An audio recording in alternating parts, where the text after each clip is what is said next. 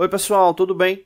Hoje a gente vai estar tá dando continuidade nos nossos vídeos da parte de desenho técnico, né? Hoje a gente vai fazer mais um vídeo referente à análise do que está faltando né, no desenho técnico, né? Importante aí para a gente analisar a condição geral do elemento. É, verificar se tem alguma falha aí na construção, verificar se vai ter algum, algum elemento que está faltando ali para a fabricação do mesmo. Né? O desenho que a gente tem incompleto é esse aqui.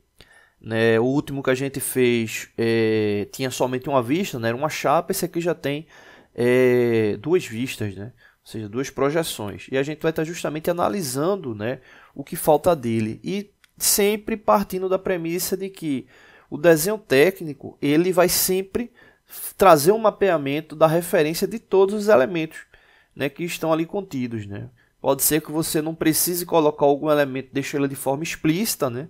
Então você deixa como um valor é, oculto, mas esse valor ele vai poder ser é, extraído com base em outras dimensões da peça. Né? Então todos os elementos eles devem é, ter uma representação direta ou indireta. Ele não pode é, deixar de ter uma, uma representação de forma que é, você não tenha nenhuma base. Né? Exemplo, esse furo, tem um furo aqui central, né, um furo aqui com diâmetro relativamente grande.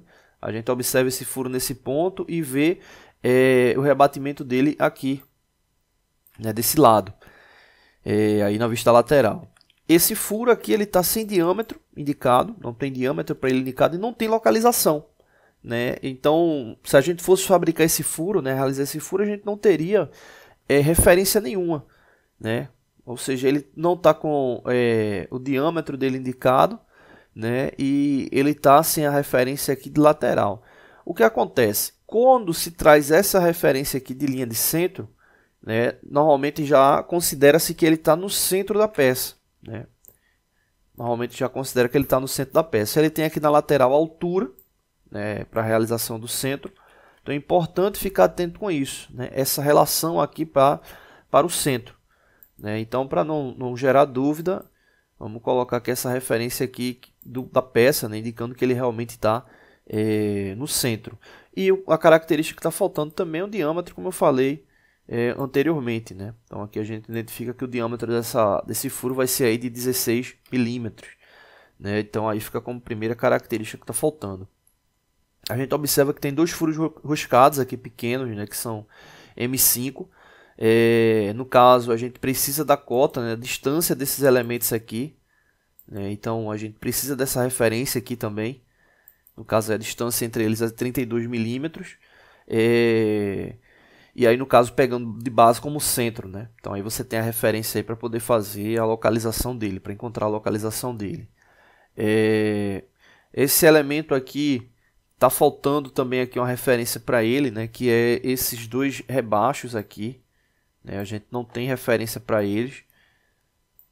A gente tem aqui da espessura. Da espessura a gente vai saber, a gente tem como saber, né? Ele está indicando aqui 18 milímetros, mas a espessura do o, a localização desses rebaixos a gente não tem, né? A largura da peça.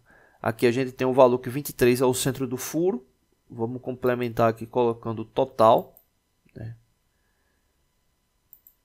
Total aqui com 46, que é justamente o dobro de 23. Então se a gente pega 46 menos 18, o valor que sobrar e dividir por 12, a gente vai encontrar esses valores aqui. Beleza, então não preciso colocar essa informação, mas é, exemplo, altura. Altura a gente não tem aí como referência para ele, né? Então a gente precisa estar colocando essa referência aí da altura. Eu vou colocar ela aqui desse lado, que acho que vai ficar mais, melhor diagramado.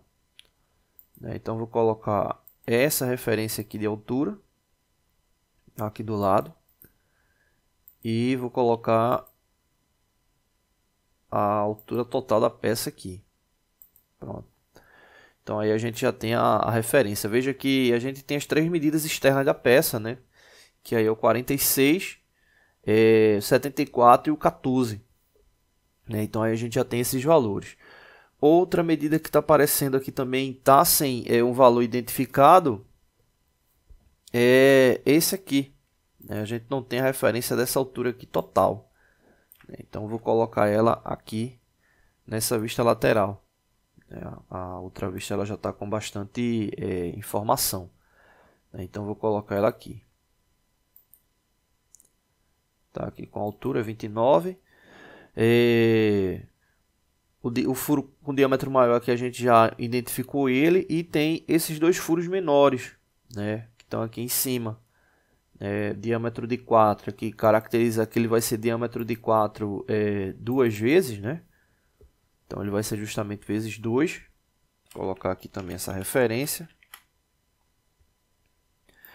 E aqui tem um detalhe, né? A gente para fazer a relação desses dois furos menores, né, ou faria uma relação angular, né, diria indicação angular para você calcular por meio do triângulo retângulo, ou colocaria a referência dele de fato, né, dos dois furos de fato. E aí no caso é o que eu vou fazer, vou colocar a referência é, já aqui mesmo com base nessa linha.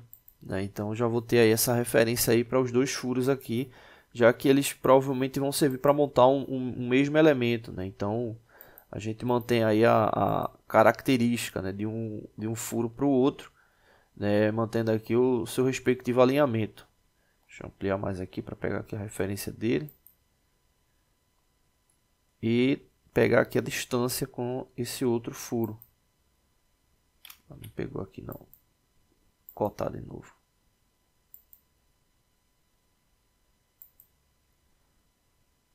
Pronto, tá aqui a, a, referência. Então aí eu tenho a distância aí de, de localização dos dois furos, né? Tanto é, nos dois eixos, né? Na horizontal e na vertical. Então aí eu tenho como é, realizar os dois, né? Então aí era outra coisa que estava faltando. Esse, esses furos buscados aqui, eles já estão identificados aqui com M5, né? O comprimento dele de 12 milímetros. Né? Aqui ele está trazendo só o comprimento do furo.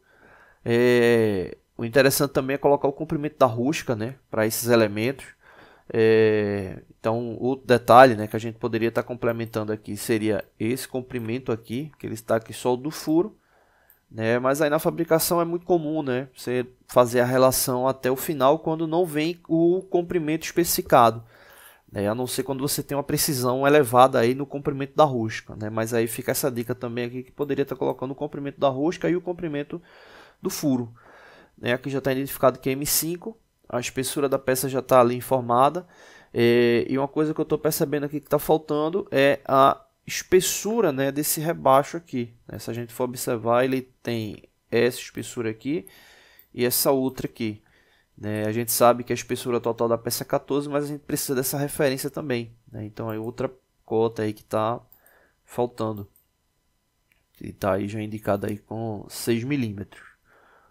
Bom, é, pelo que eu estou observando aqui, é, é, só isso que está faltando, né? E aí fecha aí as informações desse desenho, tá bom? Não deixe de se inscrever no canal, toda semana tem vídeo novo. Valeu!